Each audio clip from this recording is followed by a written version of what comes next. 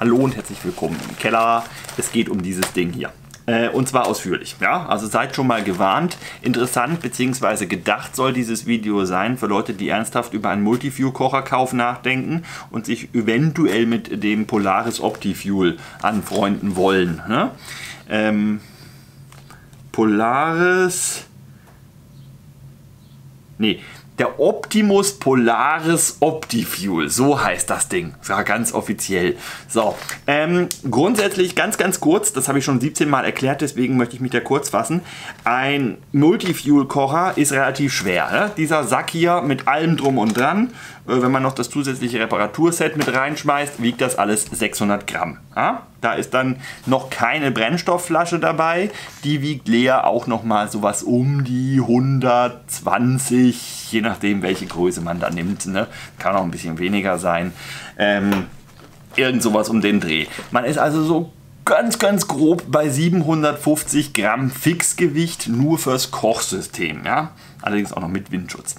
Ähm, das ist schwer vergleichsweise. Ne? Zumal es ja Gaskocher gibt dann nimmst du dann auch noch vielleicht einen Windschutz dazu mit. Aber der Kocher selber, der wiegt sowas um die 20, 25, 30 Gramm. Ne? So irgendwie diese mini, mini, mini Gaskocher. Und dazu noch ein Windschutz, meinetwegen Titanblech-Windschutz, den ich äh, inzwischen sehr lieb habe, meinen. Äh, der wiegt sowas um die 15, 20 Gramm auch nochmal. Und dann bist du bei vielleicht 50 Gramm für dein ganzes Kochsetup. Ähm, ohne Gaskartusche wohlgemerkt. Wenn man jetzt nur eine Gaskartusche braucht für die Tour, dann kann man gucken, je nachdem was das für eine ist. Beispielsweise die 220 Gramm Kartusche. Da wiegt die Kartusche Kartusche selber äh, ich glaube, irgendwas so um die Hälfte dessen, was eigentlich dann quasi nochmal drin ist. Also so die Kartusche selber wiegt so 160 Gramm, glaube ich. Irgendwie sowas, grob. Ich weiß das nicht mehr ganz auswendig, aber die Kartusche selber ist schwer und beim Gaskocher-Setup muss man die Anzahl der mitgeführten Kartuschen, wenn man die nicht unterwegs entsorgen kann, es kommt immer darauf an, ob man wirklich eine Expedition, eine Wildnisexpedition macht oder einfach nur eine Wanderung im urbanen Raum. Nicht, dass das schlecht wäre, ja. Äh, da herrschen halt einfach andere Bedingungen, zum Beispiel die Möglichkeit, Müll wegwerfen zu können können. Und es kommt natürlich noch die ethisch-moralische Frage dazu, dass man selbstverständlich seinen Müll auch in der Wildnis wegwerfen kann. Aber dann ist man meiner Meinung nach, Entschuldigung, ein Arschloch. So, ähm, daher Müll muss man mittragen. Das bedeutet, leere Gaskartuschen muss man mittragen. Das bedeutet, bei sehr, sehr, sehr langen Touren überwiegt irgendwann das Gewicht von den vielen, vielen Gaskartuschen, die man mitschleppen muss. Ähm, und dann wird so ein Kocher irgendwann effizient. Ja? Wir reden hier von 10 Tagen Minimum. Äh, bei länger wird es noch effizienter mit so einem Kocher durch das hohe Basisgewicht. Ja? Aber wenn du ganz, ganz, ganz, ganz viel Gas brauchst und ganz, ganz viele Gaskartuschen, dann irgendwann amortisiert sich das. Zweiter Vorteil, wann kann man noch so einen Kocher brauchen? Das ist ein Multifuel-Kocher. Multifuel bedeutet, du kannst da alles reinschmeißen, was flüssig ist und brennt, mit einer Ausnahme, nämlich Spiritus. Das ist nicht so schlimm, weil Spiritus, dann nimmst du halt irgendein Teelichtuntersetzerchen und baust dir daraus einen Spiritusbrenner. Also sollte man irgendwann unterwegs nur mit Spiritus kochen können. Ein Spirituskocher zu improvisieren ist nun wirklich nicht schwer. Oder eine Bierdose oder sonst was. Ne? Das wissen wir alle, dass man das ganz einfach selber bauen kann. Aber für alle anderen Brennstoffe funktioniert der. Außer Holz, aber man braucht auch nicht mal unbedingt einen Hobo-Kocher, um Holz zu verbrennen. Man kann auch tatsächlich ein Feuer machen. So. Ähm, und wie gesagt, ist man irgendwo im letzten, hintersten Winkel der Welt und hat keine Ahnung, welche Brennstoffe da eventuell zu verkaufen sind oder auch nicht zu kaufen, sondern zu klauen oder einzutauschen oder was auch immer. klauen natürlich nicht, ne? eintauschen ist besser. Ähm, dann braucht man so einen Kocher hier, meiner Meinung nach, weil ne, dann ist man auf der sicheren Seite. So, das sind so die beiden Hauptanwendungsgebiete. Nächster Punkt, weshalb Benzin bzw. ein Multifuel-Kocher, der mit erdölbasierten äh, Brennstoffen, Flüssigbrennstoffen, Erdöl, ja, ne, Erdgas wäre dann die, die Gaskocher-Variante, äh, betrieben werden kann, der funktioniert auch bei den tiefsten Temperaturen, die man sich nur vorstellen kann.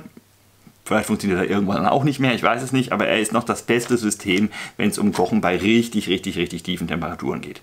Mit Gas geht das bis zu einem gewissen Grad auch noch ganz gut. Mit speziellen Gaskochern funktioniert es auch bis zu einem sehr, sehr, sehr krassen gewissen Grad noch relativ gut. Aber wenn wir uns dann im Bereich jenseits von minus 20 aufhalten wollen, das will keiner, ich weiß, aber theoretisch, dann äh, wären wir auch wieder bei so einem Ding. Ne?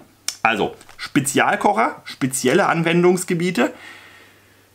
Davon abgesehen, er kocht auch sehr schön. Also man kann da auch opulente Sachen drauf zubereiten. Man kann da wirklich Wunder kochen wie daheim quasi auf dem Ding. Ne? Du hast halt nur eine Flamme, aber sonst wirklich fast wie daheim. Und kleine Flamme, große Flamme, super viel Power, ganz, ganz wenig Power, ist alles möglich. Alles schön, alles gut. So, und das soll die grundlegende Einführung gewesen sein. Und wer sich jetzt für dieses Ding im Detail interessiert, der darf gerne dranbleiben. Äh, ich kann mir nicht vorstellen, dass wer sich wirklich nicht mit so einem Kocher auseinandersetzen möchte, dieses Video wirklich interessant ist.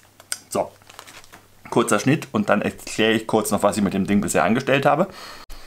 So, getestet ist der Kocherbitz bisher bei circa 40 Kochvorgängen, äh, also 40, 40 Mal anzünden, so ungefähr. Ne? Und danach irgendeine Kleinigkeit kochen. Manchmal auch was Großes, manchmal was Kleines, manchmal mehrere Töpfe mit verschiedenem Zeug hintereinander. Das hat ganz stark variiert, manchmal auch einfach nur eine Tasse Kaffee.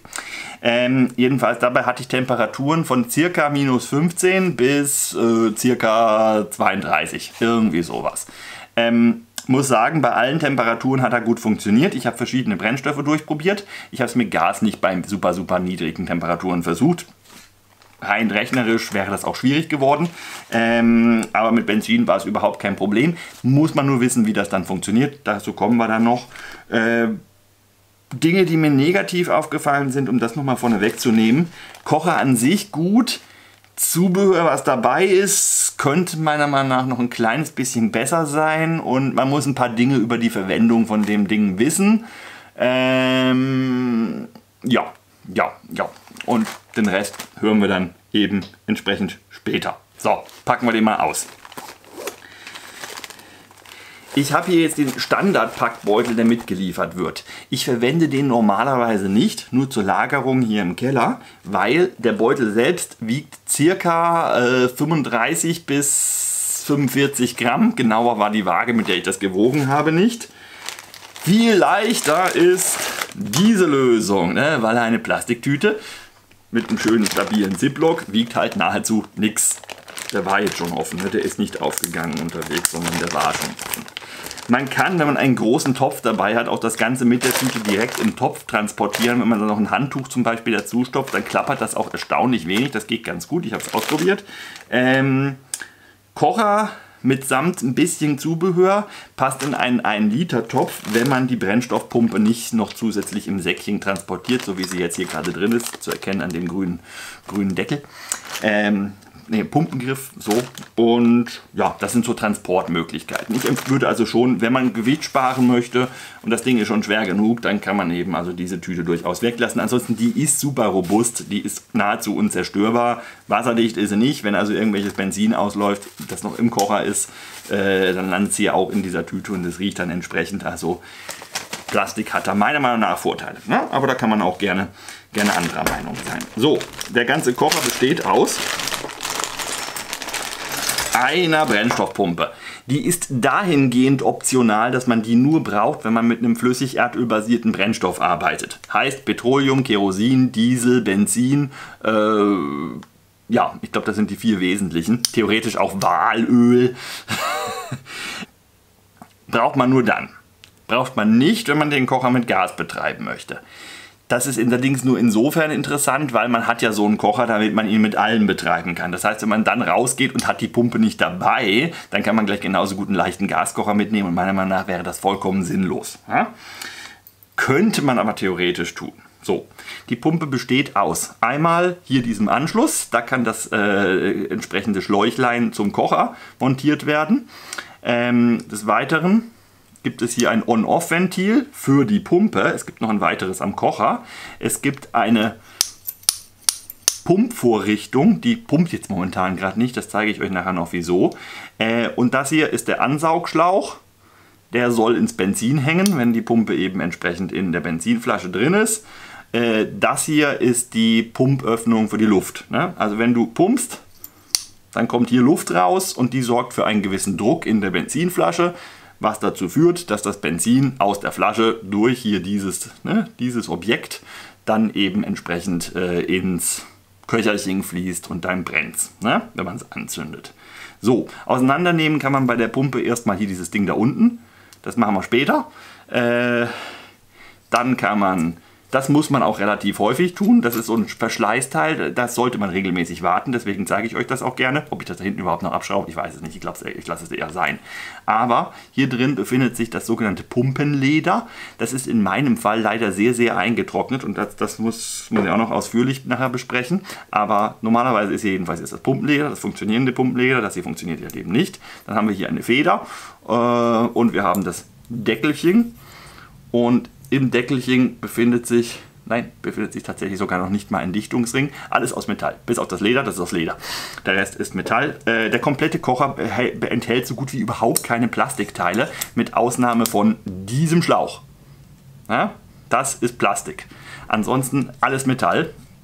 Kann man hochwertig finden. Ja? Also ich finde es hochwertig. Hier haben wir den Dichtungsring, den Hauptpumpendichtungsring. Äh, da ist er. Der ist wichtig den sollte man hin und wieder mal einfetten mit dem Kocher beiliegenden Silikonfett. Gibt es für ganz kleines Geld in riesigen Flaschen. Leider ist im Lieferumfang enthalten nur so eine kleine Tube. Äh, die hält nicht besonders lange. Meine ist so gut wie leer und ich habe den Kocher jetzt noch nicht so lang. Andererseits, man braucht auch nicht viel von diesem Fett. Ne? So, dann haben wir einen Schlauch. Zum besseren Transport mache ich den immer ab. Der lässt sich aber super leicht montieren am Kocher, zeige ich euch gleich. Äh, der besteht aus einmal das Ende, was halt eben im Bereich des Kochers angebracht wird und einmal das Ende, das auf die jeweilige Brennstoffquelle drauf gehört. Wir haben hier einen Universalanschluss. Universal heißt, der passt einmal auf die Brennstoffpumpe weil die Brennstoffpumpe lustigerweise das Schraubventil einer Gaskartusche besitzt.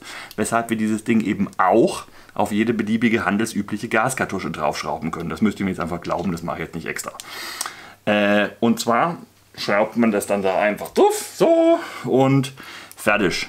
Und man muss das nicht extra so groß rotierend drehen, sondern es gibt hier extra so ein Drehdingens, mit dem man das auch festschrauben kann, ohne den Kocher dann drehen zu müssen, sondern man hat hier halt eben diese Vorrichtung. Das alleine schon sehr, sehr, sehr genial. Das gab es früher auch nicht. Ich hatte schon andere Benzinkocher und die hatten das nicht und da musstest du dann teilweise wirklich äh, so drehen, um die Schraube zuzuschrauben. Das war gar nicht mal so lustig. So, dann der eigentliche Kocher. Wie gesagt, ich transportiere es, äh, lagere ihn vor allen Dingen und transportiere ihn auch, wenn ich ihn längere Zeit mal nicht benutze. Also wenn es jetzt von morgens bis abends wenn ich ihn abends sowieso wieder brauche und morgens wieder brauche, dann lasse ich ihn auch ganz komplett zusammengebaut meistens. Ähm, aber zum Lagern mindestens würde ich vorschlagen, dass man den schon ein bisschen auseinander nimmt, dann ist er gut geschützt, äh, beziehungsweise lagert sich gut. Das ist der eigentliche Kocher. Der ist dahingehend ein bisschen problematisch und das ist vielleicht so ein kleiner Nachteil, dass hier dieses relativ lange Ding absteht. Das ist wichtig, das kann man auch nicht demontieren, ähm, nicht wirklich zumindest und das macht das Packmaß von dem Kocher ein bisschen kompliziert und man hat beim Verpacken hin und wieder ein bisschen Angst, dass einem dieses Ding kaputt geht, weil es halt so blöde absteht. Ähm, bisher nicht mal im Ansatz irgendwann jemals in Gefahr gewesen, dass das kaputt gehen könnte. Das ist alles Stahl, das ist massiv, Dadurch ist das Ding halt nicht unbedingt leicht, aber das geht nicht kaputt. Dazu gehört jetzt hier diese Stellschraube und hier kann man nun regulieren und zwar super fein regulieren, wie viel Sprit äh, denn jetzt aus dem Kocher rauskommen soll und damit halt eben quasi die Größe der Flamme. Äh, bei der Lagerung auch wieder wichtig, Ventil immer offen lagern, musste ich auch erst lernen, hat mir auch jemand freundlicherweise in die Kommentare geschrieben. Wenn du dich angesprochen fühlst, vielen herzlichen Dank, weil da drin ist auch wieder ein Dichtungsring. Äh, und wenn du den die ganze Zeit zugedreht lagerst, dann verliert er natürlich schneller seine, seine Elastizität, ähm, als wenn man ihn schön offen und geschmeidig eben entsprechend lagert. Auch diesen Dichtungsring, wie alle anderen Dichtungsringe auch, sollte man das braucht man wirklich nicht oft machen, aber vielleicht einmal jährlich oder vor und nach einer ganz, ganz großen Tour äh, kurz ein bisschen ne, einfetten. Gut. Der hat hier so lustige Füße. Die lassen sich ausklappen funktioniert immer noch wunderbar, auch wenn man das ein paar Mal gemacht hat. Äh, dann kann man den wunderbar auch auf jeden sehr gut und auch uneben Untergrund stellen. Das funktioniert mit diesen Füßen wirklich ganz hervorragend. Ich habe noch keinen Untergrund gefunden, wo ich das Gefühl hatte, dass der Kocher irgendwie unsicher steht. Hat man ein paar Steine da und so weiter, dann kann man das alles wunderbar ausbuxieren. Eine ganz leichte Schräglage stört beim Kochen auch nicht unbedingt. Das einzige Problem ist dann höchstens, dass der Inhalt im Kopf, Topf halt ein kleines bisschen Schräglage hat. Und je nachdem, wie voll man den Topf macht, läuft er dann aus. Aber ansonsten, das geht auch wunderbar.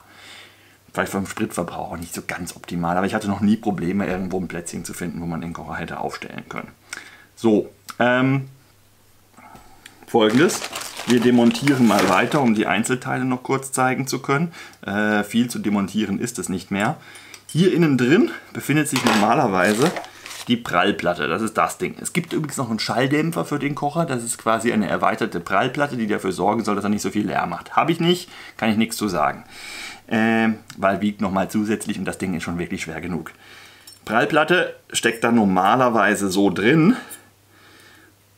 Ich habe aber die Erfahrung gemacht, dass die, wenn man sie so aufsetzt, nicht so fest hebt, dass man sich nicht Sorgen machen müsste, dass man sie verliert. Deswegen mache ich sie grundsätzlich immer selber ab äh, und ja, packe sie hier dazu in die Kochertüte eben entsprechend mit rein. Habe noch keine Prallplatte verloren und ich denke, wenn man da vorsichtig ist, dann verliert man die auch nicht. Aber die sitzt schon einigermaßen fest. Nur wenn man halt damit hantiert und das Ganze verpackt, dann geht sie ganz gerne mal schnell ab. So, ich mache sie jetzt nochmal wieder runter, aufgrund dessen, dass ich ja nochmal ein bisschen Kocher demontieren möchte, um die jeweiligen Teile noch ein wenig vorzuführen. Äh, die Prallplatte ist der eine verrußende Gegenstand vom Kocher. Wenn man die Prallplatte einmal pro Woche bei täglichem Gebrauch bisschen sauber macht, dann kann man mit dem Kocher wunderbar hantieren. Ich habe den Kocher selber noch kein einziges Mal geputzt, ja, ohne rußige Finger zu kriegen, wenn man immer nur mit Reinbenzin arbeitet, wohlgemerkt. Ne? Dann rußt der so gut wie gar nicht. Also das ist faszinierend, das hatte ich bei anderen Benzinkochern so auch noch nicht. So, jetzt haben wir hier drin in der Mitte die Düse. Die Düse ist jetzt diese Schraube, die ihr hier unten sehen könnt. Ja, da die Schraube mit die Schlitzschraube quasi und in der Mitte von diesem Schlitz, dieser Schra Schlitzschraube, befindet sich nämlich tatsächlich ein winzig kleines Loch, das könnte man jetzt wahrscheinlich nicht sehen und dieses winzig kleine Loch ist die Düse. Ich schraube das mal kurz ab, dann sieht man das auch besser. Äh, das braucht man nicht. Man hat ja mitgeliefert noch dieses Kocher Multitool. Damit kann man alles verschraubseln, was am Kocher irgendwie zu verschraubseln ist. Das wiegt leider auch schon, ist auch aus Stahl. Warum das Ding auch aus Stahl sein muss, weiß ich nicht. Das hätte ich gerne in Titan, muss ich ganz ehrlich sagen. Bin mir ziemlich sicher, dass das auch in Titan funktionieren würde. Aber naja. Ups. Also zum ordentlichen Kocher demontieren muss man das nicht zwingend in dieser Reihenfolge machen. So, zeige ich euch gleich, was ich da rausgeholt habe. Nächster Schritt, hier unten aufschrauben. Dafür haben wir wieder unser Tool. Ne, das war es nicht. Also jedes, jede Stelle von dem Ding ist für eine bestimmte Schraube. Man muss dann halt so lange rumprobieren, bis man die passende gefunden hat quasi. So. Schraub, schraub, schraub. Schraub, schraub, schraub. Schraub, schraub. Dieses Ding wichtig, ne? nicht verlieren, ganz wichtig. Bloß aufpassen, die Kleinteile sind zum Teil wirklich winzig, winzig, winzig, winzig. Äh, bloß aufpassen beim Kocher auseinandernehmen, dass man die nicht verliert. Wenn man keine Ersatzteile dabei hat, gibt es alles käuflich zu erwerben. Aber wenn man keine Ersatzteile dabei hat, dann heißer Hopsasa. So, und jetzt sieht das Ganze so aus, dass hier jetzt dieser, der eigentliche Kocher locker im Gehäuse hängt. Wenn man den da jetzt rauskriegen will, klappt man am besten nochmal das, das grüne Ding hier ein. Und jetzt muss man den da einfach im Grunde rausfriemeln und das da durch das Loch hier, ne, da ist so eine Öffnung und da passt das dann durch und das ist ein bisschen gefummelt und dann hat man es irgendwann draußen. So, das ist der eigentliche Halter vom Kocher. Der wiegt eigentlich gar nicht so, ja, der ist schon schwer. Ähm, alternative Kocher, die aus Titan sind, sind deswegen leichter, weil dieses Teil aus Titan ist. Und da kann man, ja, das wiegt schon, das wiegt schon. Da kann man sicher gleich mal 100 Gramm sparen oder irgendwie sowas. Wenn jetzt noch dieses schwere Ding hier auch noch aus Titan ist, ich weiß nicht, was bei den Titankochern alles aus Titan ist, habe ich mich jetzt nicht so intensiv mit auseinandergesetzt. Ich mag lieber robust. Aber äh, dann könnte man nochmal ordentlich sparen, weil das ist das schwerste Teil vom ganzen Kocher also als Einzelteil. So, hier unten klebt noch ein Vorheizpad. Das kann man da abziehen. Das mache ich mal spaßeshalber, das tut ja nicht weh. Das ist dafür da, um Benzin aufzusaugen. Dann brennt das hier unten und heizt den eigentlichen Kocher voll ne, vor. Ne? Und wenn der Kocher große Temperaturen erreicht hat, dann kann man eben die Brennstoffleitung aufziehen und dann kommt da entsprechend das Benzin nur noch gasförmig raus und gar nicht mehr flüssig und dann brennt es wunderbar. Wie das Ding brennt, da habe ich euch schon in diversen anderen Videos Beispiele für gezeigt. Darum soll es hier jetzt gar nicht so sehr gehen.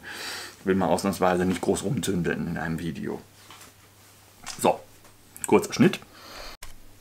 So, die eigentliche Düse, also das, wo die Flamme rauskommt, das ist eben dieses Schräubchen, das hatte ich ja schon erwähnt, äh, die ein ganz, ganz, ganz, ganz feines Loch hat. Und dieses ganz, ganz feine Loch kann man mit der Düsennadel, das ist das, was man in der Düse findet, wenn man den Kocher demontiert, ne? dieses Teil hier, ja, kann man sogar erkennen, dass da so eine kleine Nadel drauf ist. Hier an der Hutkrempe sieht man es. Und mit der kann man, wenn die Düse jetzt maximal verstopft wäre und total verdreckt wäre, kann man mit dieser winzigen Nadel das winzige Loch sauber machen. Leute, die eine Brille brauchen, sollten sie mitnehmen. so, ansonsten, die steckt da drin, kurz vor dem Loch, so zusammengesetzt quasi. Und jetzt kommt dieses Teil ins Spiel. Weil dieses Teil, diese Platte hier auf diesem Schraubenschlüssel, darunter befindet sich ein durchaus nicht ganz unstarker Magnet. Und mit diesem nicht ganz unstarken Magnet, daran haftet hier die Reinigungsnadelspindel. Und wenn wir jetzt beim Kocher von unten kommen, wo jetzt das Ganze drin sitzt, inklusive der Reinigungsnadel, und kommen da von unten und hantieren da dran rum mit diesem Magnetding, dann bewegen wir entsprechend die Reinigungsnadel, die in ihrer Düse sitzt, und machen die Düse so regelmäßig sauber, ohne den Kocher erst demontieren zu müssen. Das ist sehr, sehr, sehr clever. Viele andere Kocher haben eine sogenannte Schüttelnadel. Da sitzt die Nadel da auch locker drin und du musst den ganzen Kocher schütteln und dann bewegt sich natürlich auch wieder die Nadel und macht die Düse etwas sauberer. Aber noch effizienter, weil du gezielter die Düse sauber machen kannst, ist meiner Meinung nach diese Variante. Wenn man das beim laufenden Kocher macht, besteht ein gewisses Risiko, dass er ausgeht.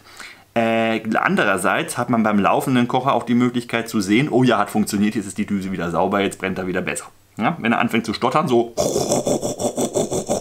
ungefähr so klingt das dann, dann sollte man überlegen, ob man nicht ein bisschen die Düse sauber machen möchte oder der Druck auf der Flasche reicht nicht ganz aus. Diese beiden Möglichkeiten im Wesentlichen ähm, gibt es, wenn der Kocher macht.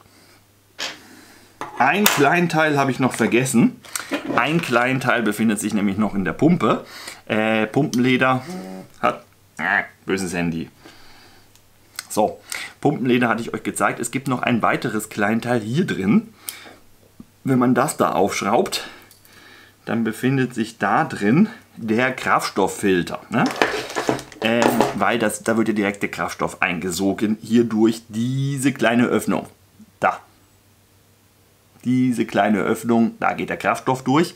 Und je nachdem, was für ein Kraftstoff das ist, enthält er ja ein gewisses Maß an Partikeln. Ne? Zum Beispiel Feinstaub in flüssiger Form. Ähm, und, und, und deswegen befindet sich hier drin ein Kraftstofffilter. Den kriegt man da raus, wenn man diesen hier macht. Tada! Könnt ihr den Kraftstofffilter sehen? Äh, ich hoffe, man kann ihn einigermaßen erkennen. Äh, ein ganz, ganz, ganz winziges äh, Drahtgeflecht, auch ganz, ganz fein, das einfach verhindern soll, dass größere Partikel da durchkommen. Ist der verstopft, je nachdem mit was für einer Art von Brennstoff man arbeitet, geht das früher oder weniger äh, schnell. Ne? Schlechtes Deutsch, egal. Aber ist der verstopft, Pro-Tipp, den ich nach langem Recherche gefunden habe, Option A, man nimmt ein Schleifpapier und schleift ihn ein bisschen ab, weil der ist meistens nur oberflächlich verstopft. Danach ist er zwar kürzer, also noch kürzer als dieses winzige Ding sowieso schon ist, aber danach soll er angeblich wieder funktionieren. So, also das ist Pro-Tipp 1. Musste ich noch nie machen, gebe ich jetzt einfach mal so weiter.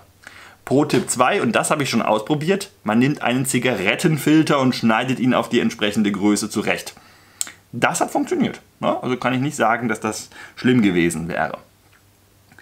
Äh, ja, und äh, Pro-Tipp Nummer 3 ist das Ding total zu, nimmt man es einfach raus und macht es halt ohne. da muss man ständig die, äh, entsprechend mehr die Düse putzen und kann vielleicht nur einmal kochen und danach muss man den Kocher komplett zerlegen und wieder alles sauber machen, je nachdem mit was für einem Brennstoff man arbeitet. Aber gehen tut es dann auch noch. Also es ist nicht so, dass man dann nicht kochen kann, man braucht nur einfach mehr Zeit. So, leider die Originalfilter, die gibt es zwar durchaus käuflich zu erwerben, äh, die sind aber vergleichsweise teuer ähm, und in einem Maintenance-Kit, sowas hier, das ist jetzt das ganz kleine, das, das minimalistische, nur mit den Verschleißteilen, sind zwei davon drin. Das heißt, wenn man wirklich nur diese Dinger braucht und man muss sich jedes Mal so ein Teil kaufen für zwei Stück, dann kostet eins äh, irgendwas so um die 8 Euro. Das ist natürlich ein bisschen bitter, aber wie gesagt, ich habe jetzt noch keinerlei Verschmutzungsstellen äh, an dem Ding hier irgendwie feststellen können und ich habe wirklich schon eine ganze Weile mit dem Ding richtig gekocht. Und wenn man wirklich weiterhin guckt, dass man immer schön mit Reinbenzin arbeitet, was man nicht muss, aber was man zumindest versuchen kann, zumindest wenn man in Deutschland unterwegs ist, dann hebt so ein Ding wirklich lange, lange, lange, lange, lange, lange. Also nach meiner Erfahrung jetzt bisher. Gut, dann kommen wir auch gleich zu dem Punkt, an dem ich das Pumpenleder ersetzen möchte. Das muss ich nämlich sowieso machen. Ich habe nämlich einen Fehler gemacht. Und merkt euch das bitte, lasst nicht die Pumpe um Gewicht für den Deckel für die Spritflasche zu sparen, ich hole mal schnell die Spritflasche, lasst die Pumpe nicht ständig im Benzin hängen. Hier mal zwei Spritflaschen. Das hier ist die mittlere Größe. Es gibt noch eine kleinere. Das ist die größte Größe. Eine größere gibt es nicht. Äh, das ist der reguläre Deckel. Der wird mitgeliefert. Den nicht wegschmeißen. Ihr seht, ich habe nur einen, weil ich war der Meinung, ach Deckel, von wegen, ich spare Gewicht. Ich nehme die Pumpe als Deckel. Und das ist doof. Weil dann leidet das Pumpenleder in der Pumpe eben sehr. Ähm, das mag nicht die ganze Zeit im Benzin getaucht ähm, und unter Druck eben in dieser Flasche drin sein, weil dann trocknet es aus. Und deswegen sieht mein Pumpenleder so aus. Hui, na da, Hutkrempe wieder man kann es glaube ich sehen, und fühlt sich furztrocken an. Und ich musste jetzt beim letzten, bei den letzten Versuchen zu kochen, musste ich das mit wirklich, wirklich viel von diesem Zeug hier ein, äh, ein, äh, ja, einschmieren. Und dann konnte ich ja, vielleicht circa 40, 50 Mal pumpen. Und man muss so circa 20 Mal pumpen, um überhaupt einmal den Kocher anschmeißen zu können. Äh, gegen Ende konnte ich nur noch so circa 30 Mal pumpen mit einmal einschmieren um wenigstens einigermaßen Druck aufzubauen. Ne? Das heißt, das Leder ist wirklich hinüber, das ist derart ausgetrocknet und auch jetzt wieder ist es furztrocken, obwohl ich es erst neulich wieder nochmal eingeschmiert hatte, bevor ich das Ganze verstaut habe und so weiter. Ähm, vielleicht, nach dem, was man so im Internet auch lesen kann an Reviews zu diesem Kocher, ist das Pumpenleder so ein bisschen ein Schwachpunkt. Vielleicht sollte man überlegen, ob man sich nicht einen Vorrat an Pumpenledern zulegt oder ob man nicht irgendwie irgendeine Alternative zu so einem Pumpenleder sich einfallen lässt. Zum Einschmieren des Pumpenleders habe ich inzwischen recherchiert. Natürlich geht das. Das kann ich auch bestätigen, dass das geht. Was aber auch geht, was ich auch mal zwischendurch ausprobiert habe jetzt, ähm, ungefähr ähnlich gut wie das mit dem Silikonzeug. Das hebt halt nur länger, ne? das äh, bleibt länger drauf. Geht es auch mit Butter ne? oder stinknormalem Öl oder welches Fett auch immer man da hat. Zur Not geht auch das. Also es gibt manche Dinge, die man improvisieren kann. Erstens halt eben diese kleinen, diese kleinen Filterchen mit Zigarettengedönse äh, und das Pumpenleder. Wie man das, man könnte vielleicht auch ein Gummi nehmen, man könnte sich das vielleicht mit irgendwas anderem, ich weiß nicht, wie man das improvisieren soll. Falls da jemand eine Idee hat, deswegen muss ich es leider austauschen. Und das geht, indem man es abschraubt. Das mache ich jetzt auch zum ersten Mal. Ich habe es mir aber vorher entsprechend durchgelesen okay, Schraub, Schraub ist falsch, man muss das Leder nach hinten etwas umbiegen. Dann kommt hier die Schraube zum Vorschein. Dann hat dieses Ding hier ein Loch. Ne? Das Multitool, mit dem man alles bearbeiten kann, was irgendwie am Kocher dran ist. Und damit kann man dann die Schraube natürlich auch lösen. Okay, das war noch nicht gelöst genug. Und kriegt sie dann auch ab. War immer noch nicht gelöst genug. Ich bin ja kein großer Handwerker. Aber ihr seht, wenn ich das hinkriege, dann ist er offensichtlich vom System her so gut, dass das geht. So, die Mutter nicht verlieren. So, und das hier ist jetzt mein altes Pumpenleder. Sieht sehr trocken aus, ist auch ein bisschen rissig an verschiedenen Stellen. Vielleicht wäre es nochmal gegangen, weil was ich jetzt gerade beim Hantieren mit dem Leder, das habe ich mir nicht getraut, ohne ein Ersatzleder zu besitzen. Ähm, aber jetzt, da ich eins habe, kann ich auch mit dem Ding ein bisschen hantieren und stelle fest, was auch gegangen wäre, wäre wahrscheinlich, und das habe ich dann auch nochmal irgendwann recherchiert, das Leder einfach ein bisschen zu weiten. Ne? Es war, also eben saß das, sah das Leder noch so aus, dass das wirklich sehr, sehr eng zusammen war, so ungefähr. Und die Funktion von dem Ding ist ja, dass es hier durch diesen, dieses Rohr getrieben wird und muss das Rohr dabei abdichten, damit man da drin überhaupt Druck erzeugen kann. Ja? Wenn das nämlich nicht luftdicht verschlossen wird vom Leder, dann entsteht da logischerweise auch kein Druck, wenn man hier die Fahrradpumpe macht. Und was ich eben noch gelesen hatte, war, manchmal reicht es auch aus, um das Pumpenleder wieder funktionsfähig zu kriegen, dass man es etwas weitet. Und das habe ich ja jetzt quasi getan. Und wenn ich es jetzt so wieder montieren würde und nochmal schön einfetten, dann würde es mit Sicherheit auch wieder gehen. Also da bin ich jetzt wirklich überzeugt von, dass das gehen würde.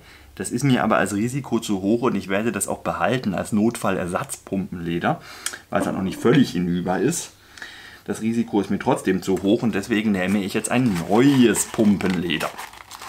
So, besagtes neues Pumpenleder befindet sich hier im kleinen leichten Wartungskit, das man kriegen kann für 16 Euro. Ja, grob, derzeit, aktueller Preis. Äh, variiert ja immer, je nachdem, wo man im Internet kauft. Da ist drin einmal Ersatz, äh, Schmiere, Übrigens beim Kocher, wenn man den so kauft, dann ist da einmal Schmiere dabei und ein Werkzeug dabei und das war es dann aber, glaube ich, auch an Zubehör. Ne?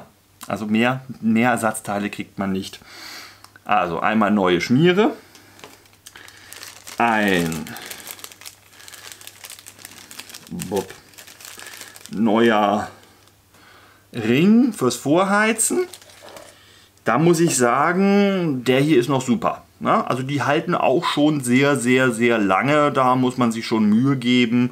Ja, hier der Unterschied zwischen gebraucht und neu. Da muss man sich schon große Mühe geben, dass man die wirklich verschleißt. Irgendwann sind sie verschleißt. Aber das kann man wieder ganz einfach improvisieren, tatsächlich einfach mit Watte.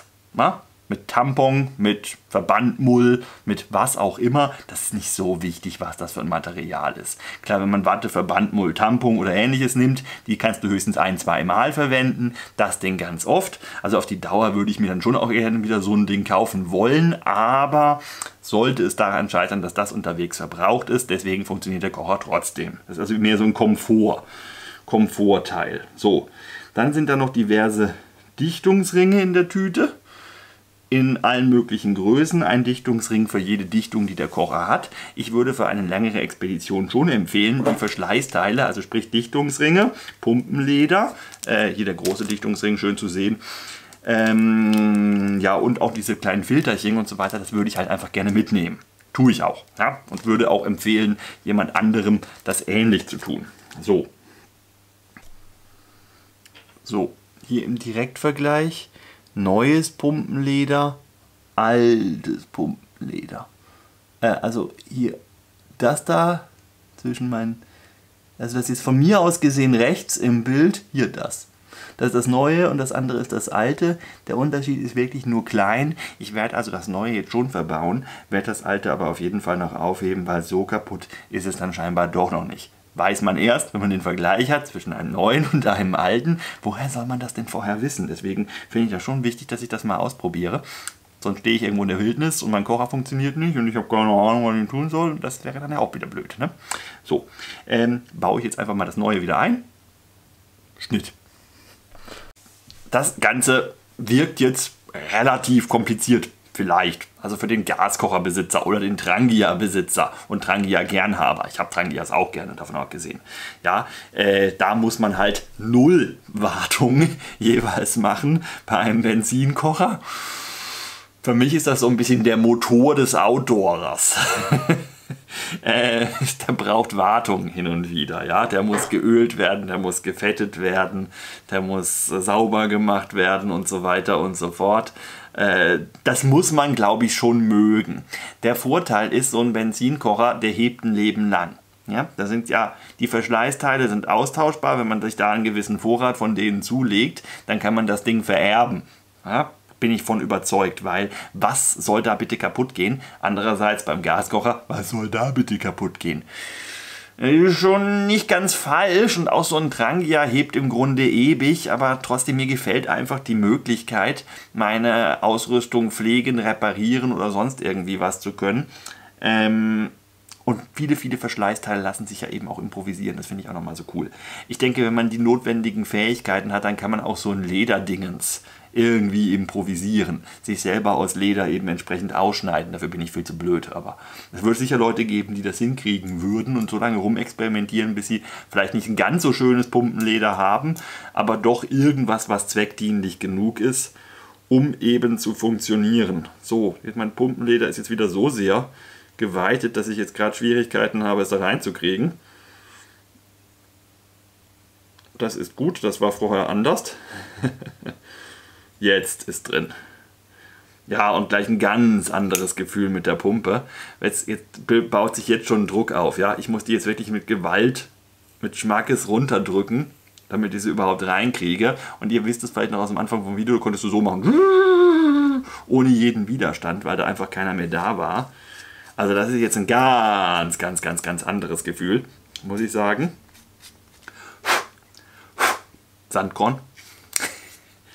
Und jetzt läuft die Pumpe wieder so richtig schön massiv und man hört da unten gleich auch, ne, ich, ich halte mal vors Mikrofon, da entweicht jetzt auch richtig, richtig Luft. Man merkt also richtig, wie da jetzt Druck aufgebaut wird. Funktioniert also wieder wunderbar. Ich bin begeistert. Äh, Kocher einsatzbereit. Again. So, und das andere Pumpenleder, das fette ich mir jetzt auch nochmal ein, damit ich es nicht trocken lagere und hebe es mir auf für irgendwelche Notfälle. Ich denke, es würde dann auch wieder funktionieren. Man muss es nur mal rausnehmen, nur mal schön einfetten. Natürlich, das ist alles kompliziert, ja? Also machen wir uns nichts vor. Das ist viel komplizierter als alle anderen Kocher, die es so gibt. Aber irgendwie macht es Spaß. Blödes Argument, Vielleicht könnt ihr es nicht nachvollziehen, dann ist auch in Ordnung. Völlig in Ordnung. Ich will ja jetzt niemanden dazu verleiten, so einen Kocher zu kaufen. Muss ja wirklich nicht sein. Er hat seine Vorteile, er hat eine ganze Reihe Nachteile, aber ich habe da groß Freude mit. So. Wir bauen wieder zusammen, also ich, und dann geht's weiter. So, Kocher soweit wieder zusammengebaut. Das geht auch wirklich ganz flott, wenn man da nicht so doof ist wie ich, dass man das äh, Vorheizpad leider draußen lässt und das Ganze nochmal auseinanderschrauben muss, um das Vorheizpad wieder reinzubauen. Aber im Grunde geht das wirklich ganz flott. Jetzt muss man noch hier gerade das Kabelchen dran schrauben, wenn er wirklich funktionieren soll. Das ist ja auch noch nicht. Ähm, dazu klappt man ihn vorzugsweise erstmal wieder zusammen. Da kann auch eigentlich nichts kaputt gehen. Das ist auch ein super robuster Mechanismus. Äh so, Schraub, Schraub. Ich habe leider noch etwas Silikon. Das war die Prallplatte. Ja, die fällt halt schon mal hin und wieder ganz gerne runter. Und ja, also eigentlich sollte man vielleicht den Schlauch drehen und nicht den Kocher um den Schlauch, aber zum Festmachen nehmen wir wieder unser Multitool für alle erdenklichen. Ah, welches passt denn da? Ah, das weiß ich leider auch noch nicht so ganz auswendig. Moment. So rum. Jetzt ist fest. Jo, passt. So. Ähm, und nun gibt es jetzt mehrere Möglichkeiten. Entweder man schraubt das hier auf eine Gaskartusche, das habt ihr aber auch noch in jedem anderen Video zu diesem Kocher schon gesehen, inklusive meine, oder sonst guckt euch irgendein anderes kurzes, was drei Minuten angeht, an, da erfahrt ihr das auch alles. Ich wollte mal ein bisschen was erzählen, was alle Leute noch nicht wissen. Alternativ kann man eben hier an diesem Anschluss dann logischerweise, das habe ich ja auch schon gezeigt, die Pumpe dran schrauben. Ne? Zack, zack, zack, zack, zack. So. Und wenn man jetzt die Pumpe in so eine Flasche hängt. Übrigens wichtig, man braucht tatsächlich für die Optimus-Pumpe eine Optimus-Flasche. Äh, zum Beispiel MSR-Flaschen funktionieren nicht. Sage ich euch gerne auch mal schnell wieso. Moment. Hier MSR-Flasche. Ja. könnte man meinen, ja, brauchst du keine neue Flasche kaufen, kannst du die MSR-Flasche nehmen. Habe ich zuerst auch gedacht. Ist leider nicht so, weil die MSR-Flasche hier zu zu sehr Flaschenhals hat. Ne? Die hier sind flacher. Seht ihr? Dieser Formunterschied. Das sieht nicht schlimm aus, ist aber tatsächlich entscheidend weil hier halt eben dieses, dieses Ding hier dran hängt. Ja? Und aufgrund dieses Dings komme ich da nicht rein. Geht nicht. Oh. Geht ja doch. Krass. Das kriege ich jetzt wahrscheinlich nie wieder da raus.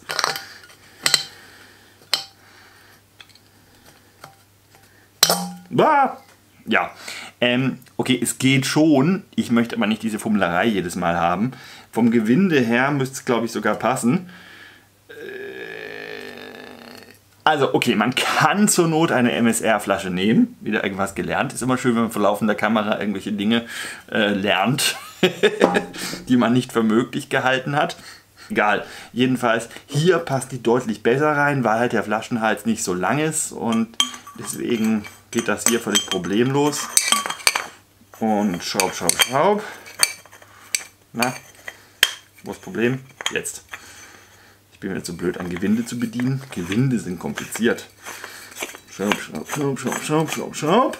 So, und jetzt sieht das Ganze so aus. Das kann man jetzt so irgendwo hinlegen und dann muss man hier noch pumpen an der Pumpe. Das spare ich mir jetzt und dann zündet man den an und so weiter. Und das habt ihr in 28 anderen Videos auch schon gesehen. Mir ging es darum, wirklich so ein bisschen die Wartung des Kochers und die Einzelteile und so die Details eben ein bisschen zu zeigen. Ich bin rundum zufrieden, muss ich sagen. Ich hätte jetzt kritisiert, dass das Pumpenleder so schnell verschleißt, aber offensichtlich war ich da einfach nur zu blöd, das eben halt regelmäßig einzufetten und einfach mal rauszunehmen und einfach mal ein bisschen zu dehnen und ein bisschen besser einzufetten. Dann wäre es auch mit dem anderen Pumpenleder noch gegangen. Es gibt jetzt noch einen Nachteil, den ich tatsächlich erwähnen möchte bei dem Kocher. Dadurch, äh, dass der halt diese Universaldüse hat, die für alle Brennstoffe gleichzeitig funktionieren soll, ähm, ist der Gasbetrieb schwierig anzuzünden. Da habe ich, glaube ich, noch rumliegen, noch ein paar interessante Szenen, die ich dazu gerne jetzt hier mal noch reinschneiden möchte, wo man dann sehen kann, äh, dass man zum Beispiel das Ding, wenn man mit Gas kochen möchte, mit einem normalen Feuerzeug fast nicht angezündet bekommt. Ähm, das seht ihr dann jetzt gleich alles, aber ich möchte noch mal kurz kommentieren, was funktioniert denn dann, wenn ein normales Feuerzeug nicht funktioniert, gehen tut, problemlos zum Anzünden des Kochers ein Sturmstreichholz einfach reinhalten und das kann der, das kann der Gasdruck nicht aus, äh, auspusten und das ist genügend Flamme und damit, damit geht es eigentlich ziemlich gut. Da habe ich jetzt noch keine, muss man auch zwei, dreimal gemacht haben daheim, aber vielleicht braucht man noch zwei oder drei Streichhölzer, aber gehen tut es. Es ist ein bisschen kompliziert. Ja? Äh, es, es ist ein bisschen manchmal auch etwas nervig, aber man sollte schon in der Lage sein, das hinzukriegen. Was auch nicht geht, ist ein Firesteel. Weil wenn man die Prallplatte drauf hat und die muss man drauf haben, bevor man den Kocher anzündet, weil so nachher kriegt man sie nicht mehr drauf, ohne sich die Pfoten zu verbrennen. Ähm, man hat die Prallplatte dann eben drauf und dann muss man versuchen, einen Funken unter die Prallplatte, also am Rand der Prallplatte durchzubekommen, der dann gleichzeitig das ganze Gas, was sich da dann mehr oder weniger ansammelt, anzündet. Das ist eher schwierig.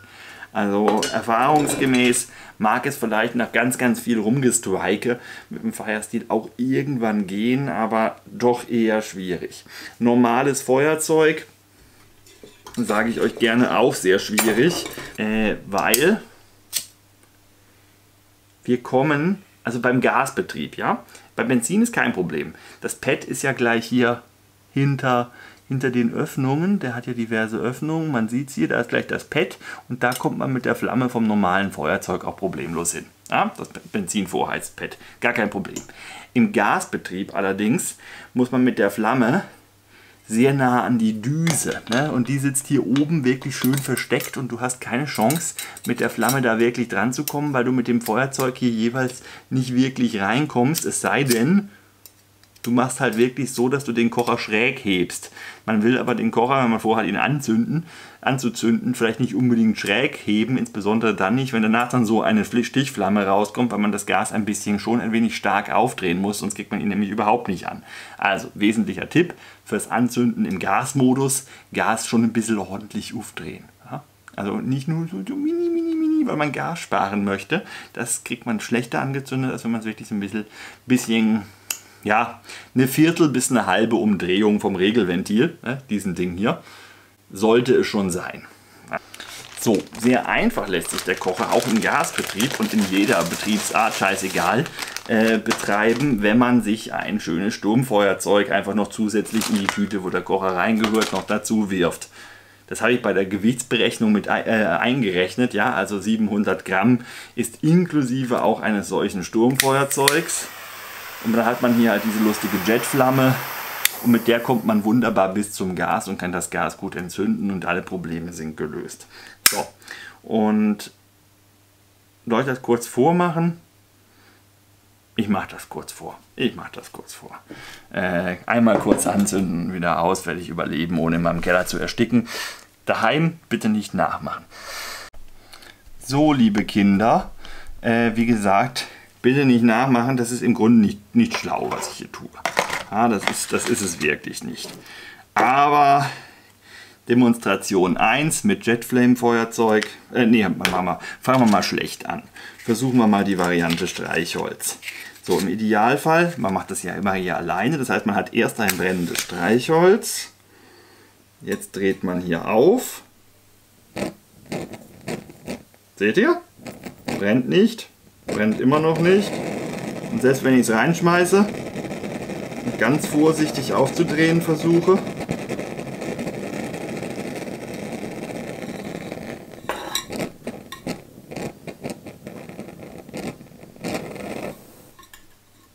Ne? Nicht geschafft.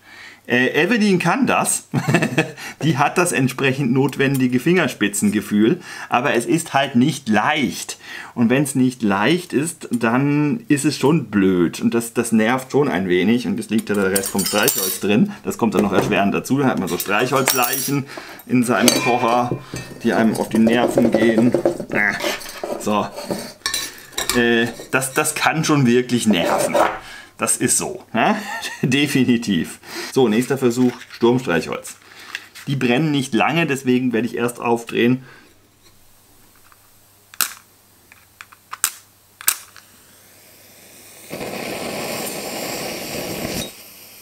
Oh! Ja. So. Kocher brennt. Mit Sturmstreichholz geht's. Okay. Ähm, war nicht schön, der hatte auch noch nicht, ich weiß nicht, ob man das gesehen hat, er hatte noch nicht am ganzen Kranz, den ganzen möglichen Flammen, hatten noch nicht alle gezündet. Das passiert relativ häufig am Anfang. Das geht dann nach und nach. Wenn er sich noch ein bisschen aufheizt und wenn man noch ein Kopfgefäß draufstellt und so weiter, irgendwann geht dann auch alles an. Das kann so ein paar, ja, keine Ahnung, 30 Sekunden bis eine Minute kann das dauern. Ähm, aber wir haben gesehen, hat zumindest so halbwegs funktioniert. Ich möchte nicht garantieren, dass es nicht eventuell nochmal ausgeht. Das kann nämlich auch passieren im Gasbetrieb. Also Gasbetrieb ist wirklich eine Schwierigkeit. Wenn er dann mal brennt, dann brennt er gut mit Gas. Das geht alles dann prima. Das ist dann nicht das Problem. Aber bis er brennt, äh, kann das wirklich nervig sein. So, wie kriege ich das jetzt da wieder raus? Ne? Das ist das nächste Problem. Man schüttelt wieder das Streichholzrestchen aus seinem Kocher. Das sind so kleine Nervigkeiten. Das sind so kleine Nervigkeiten. Also beim Benzinbetrieb tadellos. Ja, möchte ich nochmal betonen, Benzinbetrieb funktioniert einfach tipptopp. Da gibt es überhaupt nichts auszusetzen. So, jetzt Variante Jetflame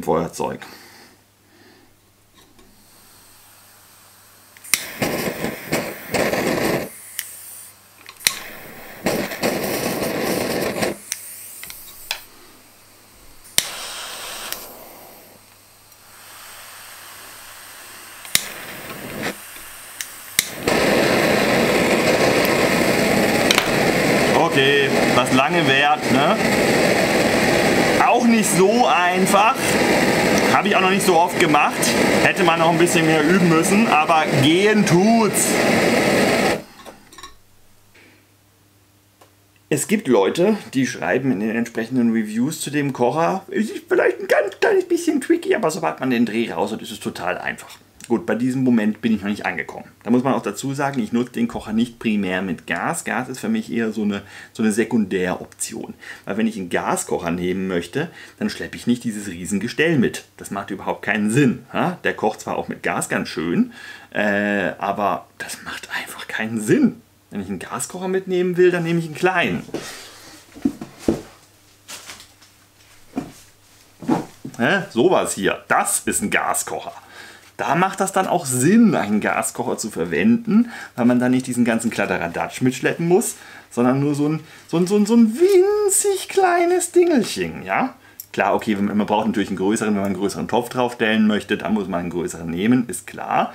Aber äh, ansonsten, ja, und die Schwierigkeit, ihn eben mit Gas zu entzünden, ja, wie schlimm ist das? Das muss jetzt jeder selber für sich wissen. Ja? Die Leute, die überhaupt keine Schwierigkeiten haben, weil sie nicht wie ich zwei linke Hände haben, äh, für die ist es ja ohnehin kein Problem. Ähm, für denjenigen, der ihn gar nicht anbekommt im Gaszustand, äh, Gasbetrieb und ihn einfach wieder zurückschickt, weil er meint, der Kocher ist kaputt oder der Kocher ist scheiße oder was auch immer. Das halte ich auch für ein bisschen übertrieben. Ähm, ja, ist der eine große Kritikpunkt vielleicht. Vielleicht. Vielleicht gibt es noch Leute, die was anderes schlimmer finden an dem Kocher. Das Gewicht, das ist halt wie es ist. Dafür ist er auch unzerstörbar. Ne? Alles Stahl, null Plastik, alles Metall. Und ich bin wirklich sehr, sehr, sehr, sehr zufrieden. Ich zweifle keine Sekunde daran, dass mich der Kocher in Grönland nicht im Stich lassen wird. Sollte er es doch tun, dann werde ich mich hinterher natürlich nochmal beschweren. Ähm, in Videoform.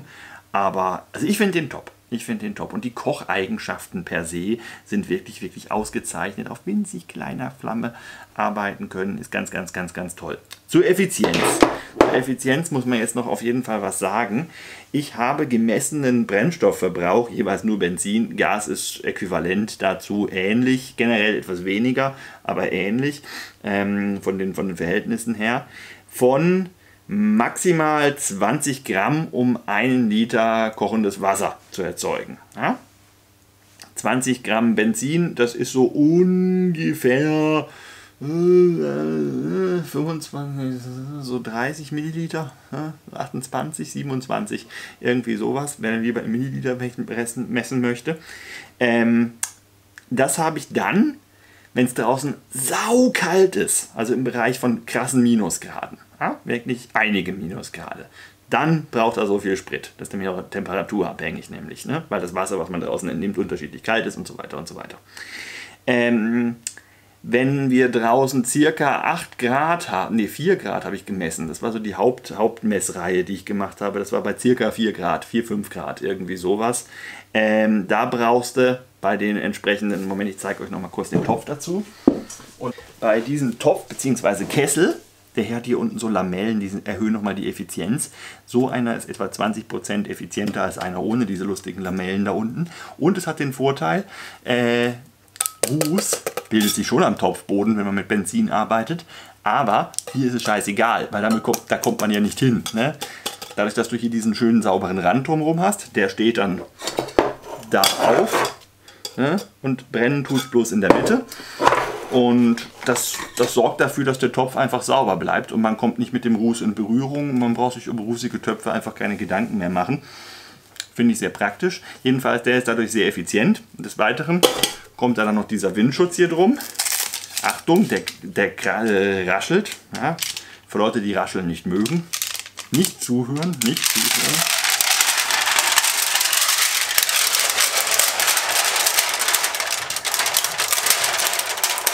So, ich muss sagen, ich wusste zuerst auch nicht so ganz, was ich von diesem Windschutz halten soll. Ich bin inzwischen heil, heilhauf begeistert von dem Ding. Das ist der beste Windschutz für mich, den ich je hatte. Ich sage euch auch warum, weil... Machen wir kurz nochmal hier Kamera runter. Kocherchen hier hin. So, nehmen wir mal an, der wäre jetzt an. So, jetzt stelle ich das hier drauf. Und jetzt soll dann noch der Windschutz dazu.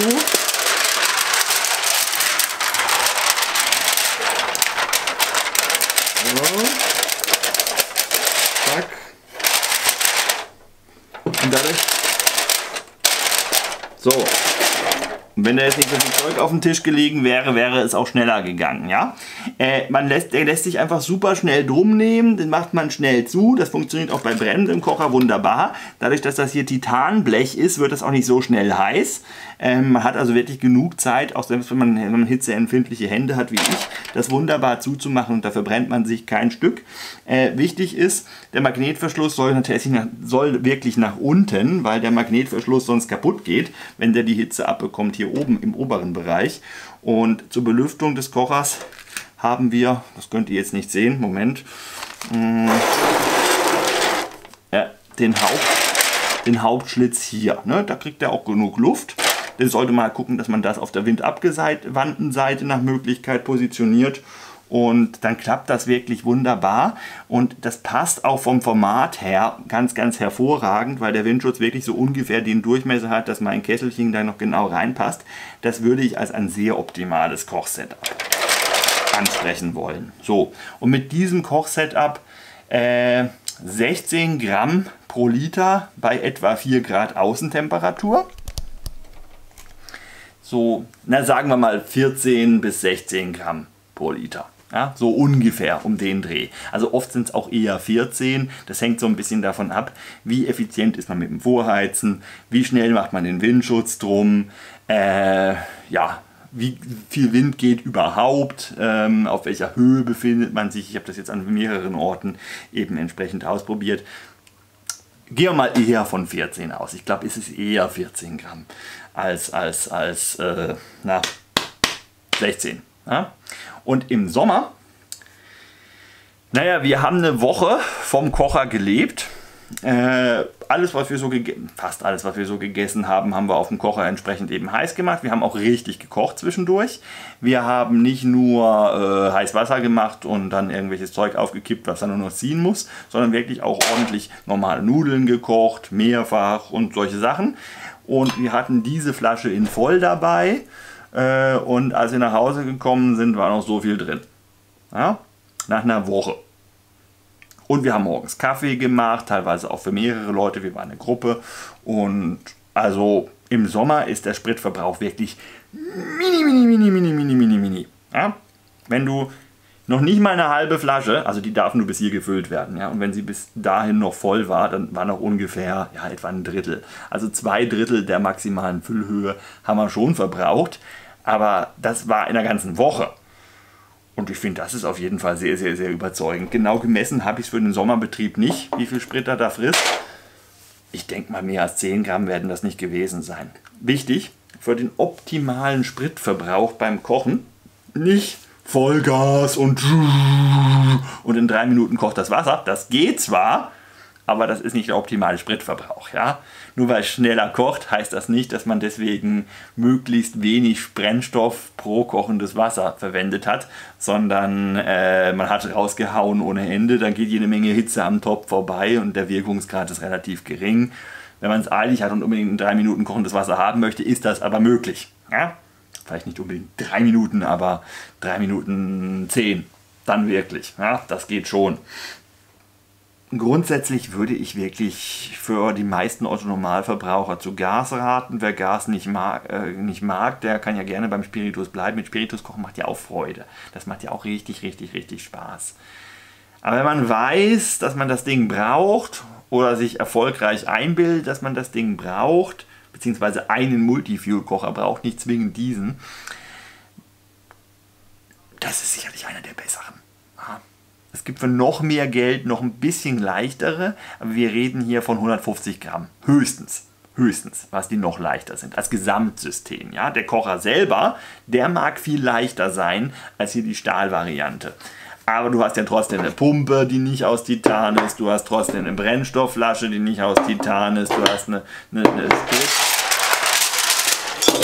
die Spritleitung, die nicht aus Titan ist. Und äh, ja, also 550 zu 700 Gramm. Das wäre halt der Unterschied in den jeweiligen Setups. Um nochmal einen Anglizismus rauszuhauen. Klar, das ist, das sind 150 Gramm. Das ist schon schön. Aber ob das jetzt wirklich diese enorme Preisdifferenz wert ist und ob Titan ein so nachweislich ewig haltendes Material ist für einen Kocher. Das weiß ich nicht. Das kann schon sein, aber ich weiß es nicht. Ich weiß aber, dass diese Benzinkocher zum Teil, also in solcher und ähnlicher Bauform, wirklich ewig existieren und ewig halten. Und an diesem Grundprinzip, wie die gebaut sind, dass das wirklich dieses massive Stahldinger sind, daran hat sich auch nicht viel geändert, seit die gebaut werden. Und ja, da, da bleibe ich lieber wirklich dabei. Also diese Titanteile, das, das muss wirklich nicht sein. So, mehr fällt mir jetzt nicht mehr ein. Äh, ich denke, das allermeiste habe ich dazu gesagt. Macht's gut. Tschüss.